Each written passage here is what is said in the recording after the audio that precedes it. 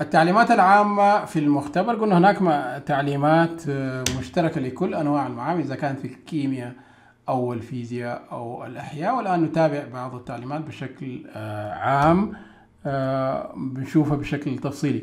إذا الرموز والعلامات الخاصة بالسلامة. عندنا رموز وفي علامات خاصة بالسلامة والخطر المرتبط بها. إذا يجب نعرفها بشكل عام لكي نحمي أنفسنا.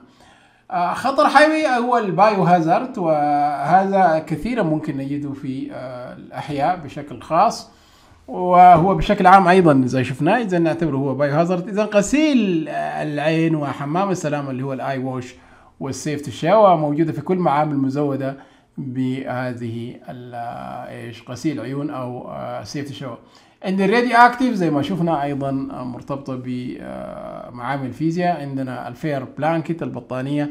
وقلنا هذه من أدوات الايش إطفاء الحريق. آه، وقلنا إطفاء الحريق هو نقص الأكسجين على الحريق لكي لا يشتعل أو يزيد زيادة. فبالتالي آه، وجود حريق وبالبطانية قطافة يقص منها الأكسجين فبالتالي آه، لا يزداد مسألة الحريق لا تزداد. إذا شفنا علامة زي هذه إذا هذه المادة تكون مسمة جدا توكسيك وهذه العلامة تعتبر المادة مؤذية أو مادة ضارة وهذه مادة مشتعلة وهذه العلامة لو رأيناها إذا هنالك مساعدة أولية في هذا المكان. كارسينوجين هازارد خطر سرطاني إذا شفنا مادة زي هذه نتعامل معها بحذر جدا.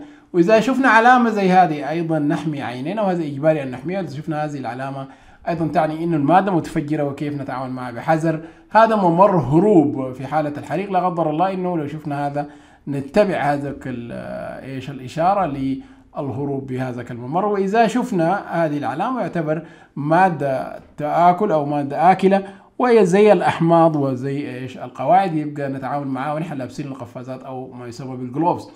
هذا الليزر أو العلامة بتاعت ال laser radiation في هذا المكان اذا مرتبطة بأقسام الفيزياء بشكل عام ممنوع التدخين طبعا هذه علامة إجبارية وممنوع التدخين في كل معامل في كل الأماكن التي يوجد فيها حتى لو غير المعامل.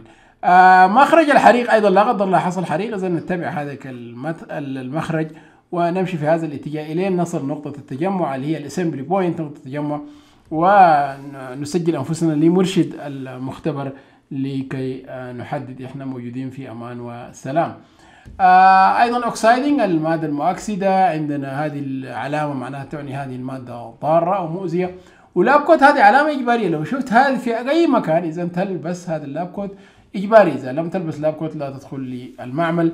علامة ال recycling هذه بالنسبة لل waste ال normal waste عشان نعمل مسألة تدوير بالنسبة لها آه في هذه. إذا هنا في broken glass bin أو سله الزجاجات المكسوره في المعامل كثيرا ما نستخدم الادوات الزجاجيه فاذا حصلت اتكسرت يبقى نتخلص منها في هذه الاماكن الصندوق المخصص لها ال bio waste bin سله المخلفات الحيويه وقلنا هذه مرتبطه بالاحياء وخاصه قسم ال zoology بشكل عام